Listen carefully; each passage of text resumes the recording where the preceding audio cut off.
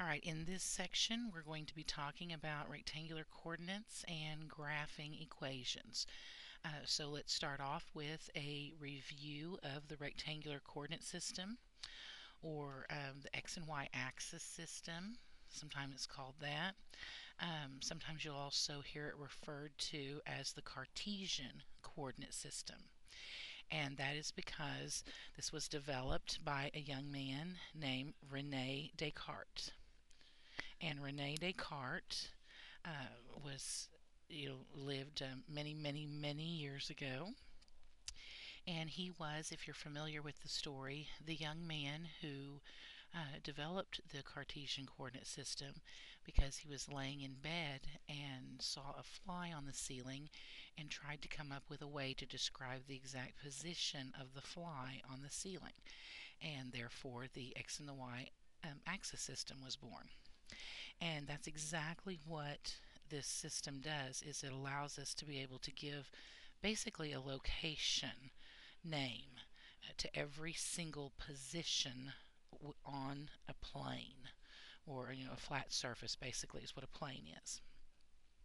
So if we look at the way this is set up, we have two axes, which are basically just number lines going from negative to positive. Uh, the horizontal is called the x-axis and the vertical is called the y-axis. Now each one of these is broken up into four parts by this axis system. This first part over here is called quadrant 1.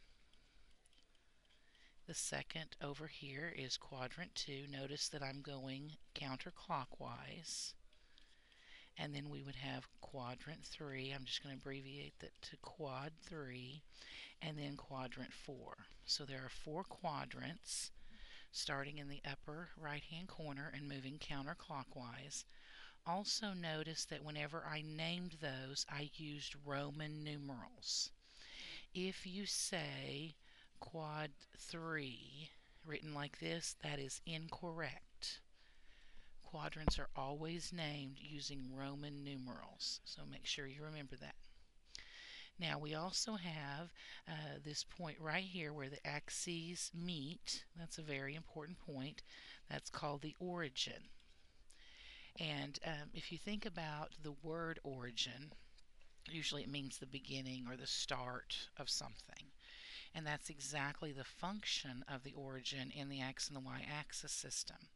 It acts as a beginning point or a starting point so that we can name any position on this plane, this space, by its x and then its y coordinates. So for instance, let's say that I wanted to name this position right here starting at the origin, we would name its x part first. So to, to, if I were going to tell somebody how to get to this point, I would say move left or move in the negative direction 7 units.